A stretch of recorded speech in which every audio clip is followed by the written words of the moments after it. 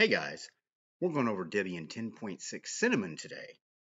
Also, at about three or four minute mark of the video, I'm going to show you how you can get entered to win the Xbox Series X that we're giving away on November 30th.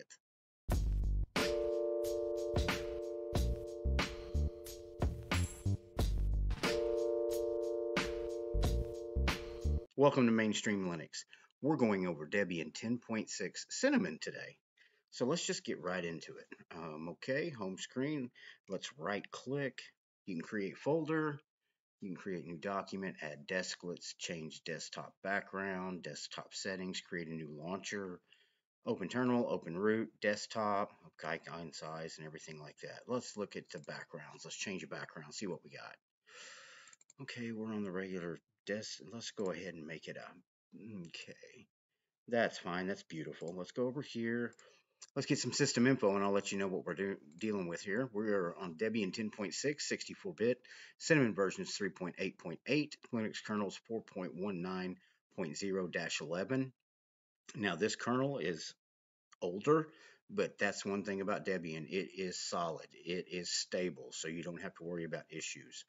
Processor, I'm on an Intel Core i5. I've only got two uh, cores assigned to this machine. I've only given it two gigabytes of memory and I'm running it on a five gigabyte hard drive in my virtual machine. The reason I do such low specs is I want to see how it's going to operate on a low spec system. So let's go ahead and close out of this. Let's go over and run through our settings again. What all options do we have? We've got backgrounds, we've got effects, fonts, themes. You can change the themes. We can go in there, window borders, icons, desktop. Those of you that are familiar with Cinnamon, this is nothing new. It's just with a Debian base, a real solid base actually. Then your accessibility, account details, applets, date time, desklets, desktop panel, online accounts, notifications, extensions, preferred applications. Now that's one thing I'm not sure about. Does Cinnamon let you integrate your online accounts directly into your file manager? I know with GNOME and, yep, let's see here. Let's try it and see what happens. We shall see. Okay, now let's go over to File Manager and see if it sure does. There's my network, and it should bring up my three folders I have online. There we go. And then you double click on it, and there's a picture. Okay, what that is, guys, is when you put your online account in, especially Google, doesn't work with Microsoft OneDrive, but it does work with Google. When you put your online account in, your OneDrive will automatically show mounted into your folder, okay? Now, it will show you the information that's on the drive. It hasn't been downloaded yet, okay? But if you double click on it, it will actually download it locally, and then you can actually maneuver with it and do whatever you need to do uh, on your system. So that's nice. I like that. I'm glad that's in Cinnamon as well. So let's go see what we get out of the box. Well, first of all, let's go ahead and go over this before I get into it. I told you at the beginning of the video I was going to explain to you how you could get signed up for our November 30th giveaway of the Xbox Series X. Watch this video real quick, and when I come back, I'll tell you how to.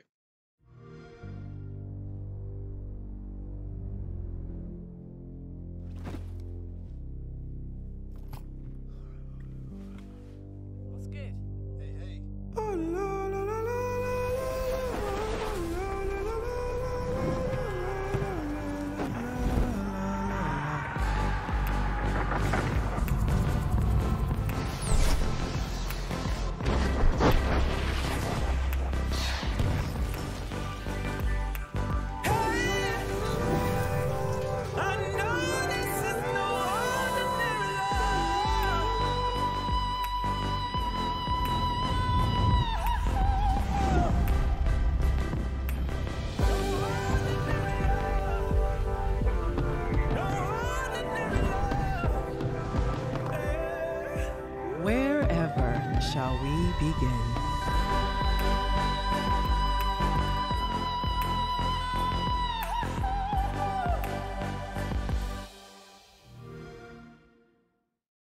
Okay, I love that video. I really do. But anyway, here's how you do it. You want to get signed up to win that Xbox Series X console that we're giving away on November 30th?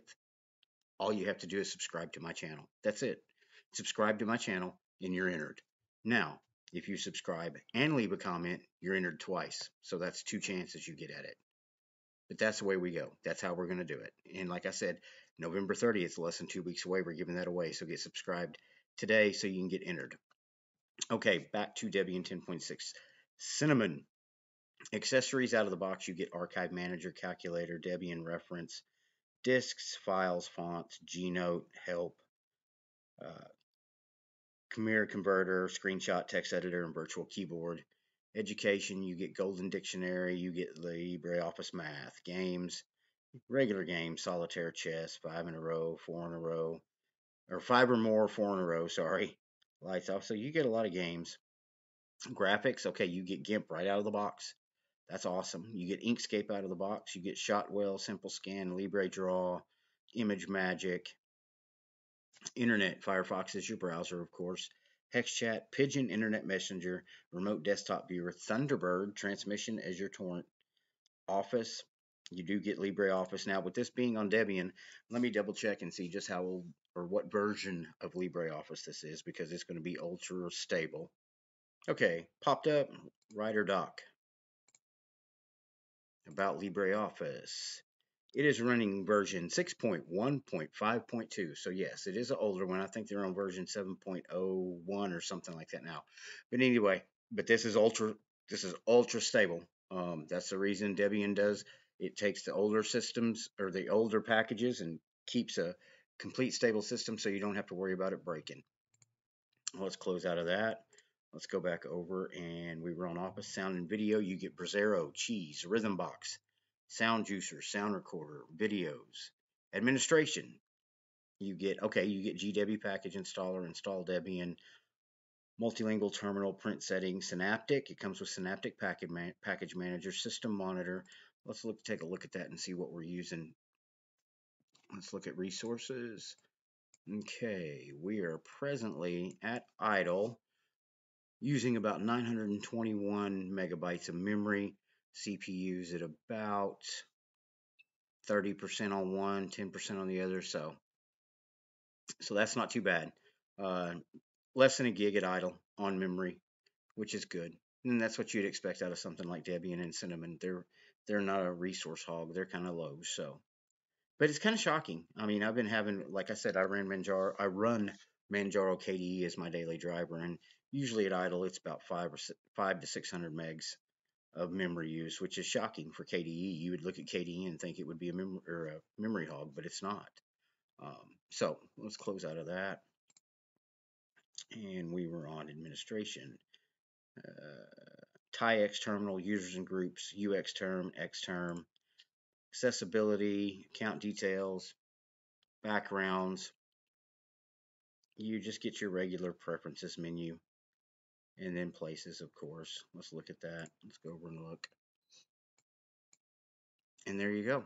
I mean, Debian's been solid. It's there's a reason it's the granddaddy. Um, it's been around forever. It's because it's it's stable. It's solid. People use it when they don't want to have.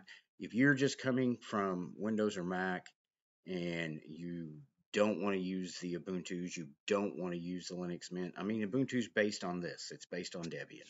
It's based on Debian because Debian's a solid distribution. Um, Debian keeps everything, you know, stable. It keeps everything with older packages that are proven. There's no bugs in them. You just plug it in, install it, and you can go get work done. You don't have to worry about a minor little bug here or a glitch there. Usually, when you get it installed, you you're running and raring to go. So, if you're new to Linux or if you haven't visited Debian in a while, maybe it's time to give it a shot. Uh, I like it. It's solid. It's stable. Uh, I don't think it's going to pull me from my my Manjaro install, but uh, different flavors for different folks. It's free. Freedom is in free, is in you have the freedom to do what you want. So, thank you guys for watching today. Remember, subscribe to this video. You're entered for the November 30th giveaway of the Xbox Series X. Also, if you comment on the video, you'll be entered twice. So, like I said, thank you guys for watching today. Keep your eye out for my next video, and this has been Mainstream Linux.